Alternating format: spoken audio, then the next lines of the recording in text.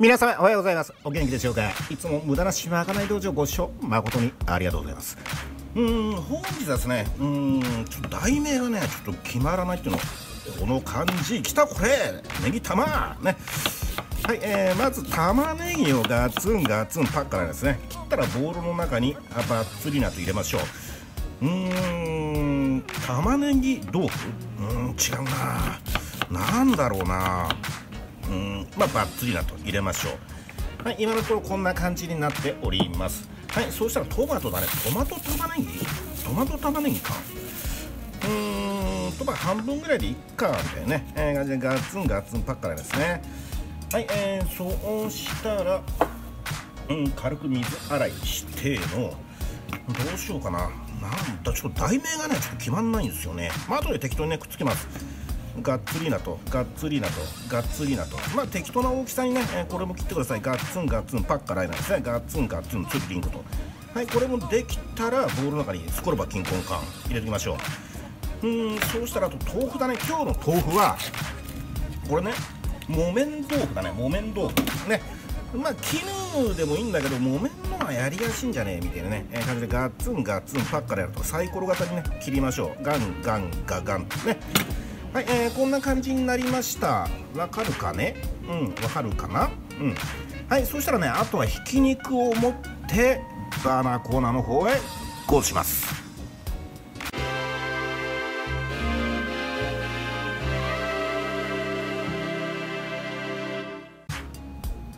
はい、えー、ただいまですね、えー、バービーコーナーの方ですね、やってまいりました。それではね、えー、フライピンを用意しましょう。はい、そして天下いっぱい、やつですね。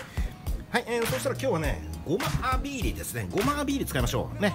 まあ、やや多めでいいかみたいなね、えー感じでお願いいたします。はい、そしてフライピンの方にね、ごまアビーラがね、馴染んだら、ひき肉ですね。はい、ひき肉をガツンガツンパッカライナと入れていきます。うーん、ほうん、実のひき肉は豚ひきですね。豚ひいきです。はい、こんな感じですね。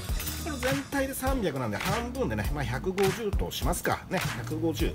まあいいっすよ。もう好きなだけで300でも500でもね、そのご家庭の5人数に合わせてもバツンバツンバッツリなとね、まずひき肉を炒めましょう。で、豚肉なんでね、えーこれ完全にね、火を通していきます。それではね、まず炒めてしまいましょう。はい、えー、ひき肉の方にですね火が通りましたね、えーこのダマダマないか確認してくださいね。ダマダマの中はまだ赤いですからね。はい、えー、火が通ったところで先ほど切った豆腐玉ねぎトマーティーですね。はいこれをガツンガツンパッカライナと。ね。まあこの辺は全部生で食えるもんなんでね。まあ軽く炒めていきましょう。うーんまあこれだね。ネギ玉だね。ネギ玉に火が通ったぐらいでね味付けの方入ります。えーそれではねちょっと豆腐とかねネギ玉とかトマト全部水分が多いんでねやや強めでねガツンガツンパカラやとねガツンガツンパカラやと、えーこんな感じで炒めていきましょう。うーんこの時絹豆腐だと崩れる恐れがあります。ね。まあですからね。まあできたら木綿でやった方のがなんか綺麗に仕上がるんじゃないかなみたいなね感じでございます。ガツンガツンパッカーライナですね。ガツンガツンパッカーライナと。はいそれではね玉ねぎはやや半透明になるまでねちょっと炒めてまいりましょう。はい、えー、豆腐とか玉ねぎ、オニオンですね、からやや水が出てね、えー、ネギ玉の方もね、えーやや透明感を帯びてまいりました。はい、そうしたら、ここで黄金だし入ります。はい、えー、黄金だしですね、はい、黄金だしをね、がっつりなと入れていきましょう。ね、うん、このお豆腐とか玉ねぎとかトマトが半分隠れるぐらいまでね、入れていきましょう。ね、こんなもんで OK OK、very OK ではないでしょうか。そしたらここでね、一旦強火にしてしまいましょ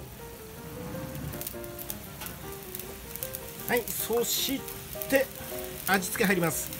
えー今入れた黄金だしの量に対しての1%のお塩ですね、 salty です。はい、 salty の雨が降るぜーね、はい、こんな感じでお願いします。はい、そしてうまみ出しにね、丸鶏スープの素、鶏ガラスープの素ね、はい、これガッツンガッツンのね、適当に入れてください。えーそれからまあ、これだね、ブラックペッピーで、ペッピー、ペッピー、スーパー。ペッピーとね、はい、ガツンガツンパッカライナと、ね、はい、こんな感じになりました。はい、そうしたら最後の仕上げに入ります。はい、生玉ねぎですね。ガッツリーナと。はいがっつり今日はね、えー、多めに2つねいきましょう。これ3人前ぐらいできるんじゃないみたいなね。まあ大皿に盛ってねガツンガツンスプーンかなんかでね、えー、自分の取り皿に入れて食す。これがまた2ですね。お父さんはおつまみ。お子様は飯のおかずにと。ね。はいそれではね卵ぶっ込んでいきます。ガッツリーナと。ガッツリーナと。はい卵が入りました。あとはね卵が固まったら完成となります。それではね卵を固めてまいりましょう。はい、えー、お分かりになりますでしょうか。卵の方ですね。まあまあまあ半熟だけどまあいい感じでね固まりました。はいこんな感じでね。なんだろうねこれ五目ひき肉みたいな感じだね。うん。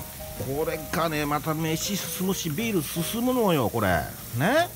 はいそれではもうこれで完成なんで器の方に盛り付けてテーブルの方に運んで食してまいりましょう。はい、えー、テーブルの方にですねうんひき肉トマト豆腐にしますかひき肉トマト豆腐ですねうん早口言葉でも何でもないね言われねひき肉トマト豆腐ひき肉トマト豆腐言えますねはい、えー、運んでまいります。それでは早速ですね、えー、食してまいりましょう。まあ、いつものように、一味唐辛子、七味唐辛子、ガッツンガツンね、まあ、この辺好みでお願いいたします。バッツンバッツンね、カプサシン効果で、うん、このつゆを吹っ飛ばせこれみたいなね、えー、感じでないでしょうか。それではいただきましょう。いただきます。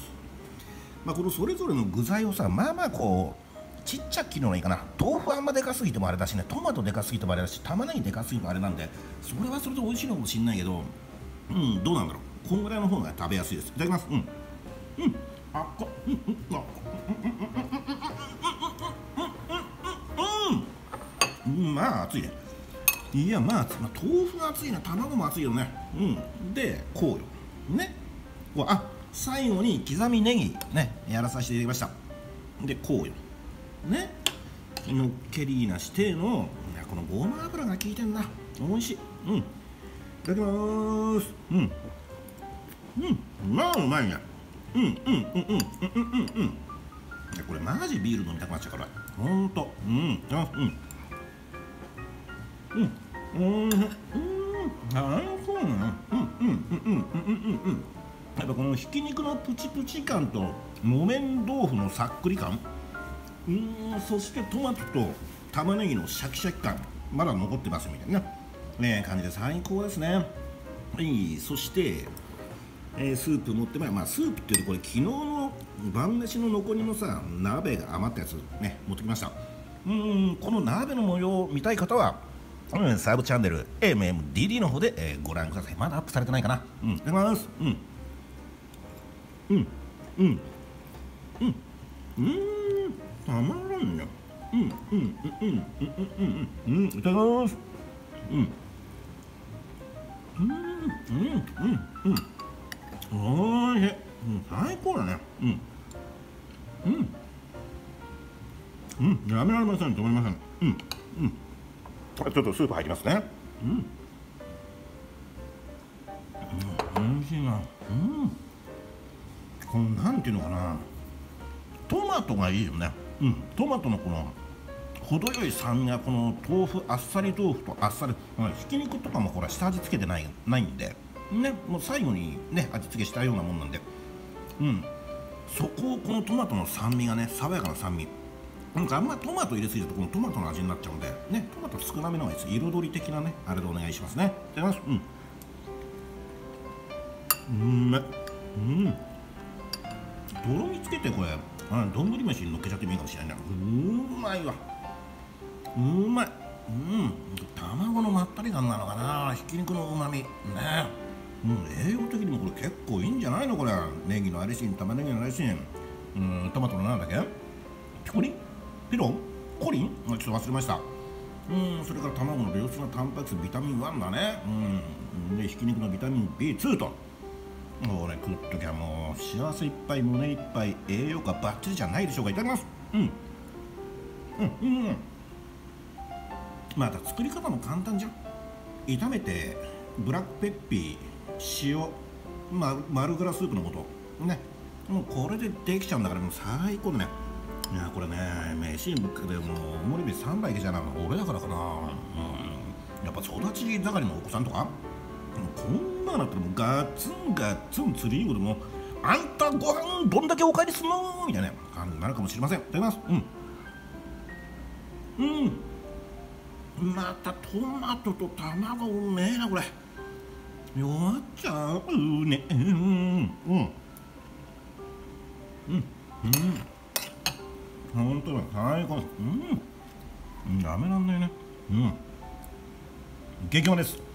はい、えー、ということで本日も最後まで無駄なしまかない道場ご視聴誠にありがとうございます本日ですねうんひき肉卵豆腐の作り方ん？違うな。ひき肉トマト豆腐の作り方ね。えー、これ動画にしてみました。非常に簡単でね、うん、栄養もバッチリですしね。速攻できるしね。非常にデリシャスなんでね。ぜひお試しくださいませ。はい、えー、ということで皆様に一つお願いございます、動画アップのモチベーションを維持するために皆様の温かいグッドアイピューどこまで行くんでいい？戻ってきたい。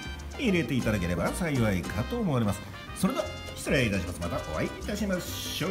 じゃあひき肉豆腐トマト最高！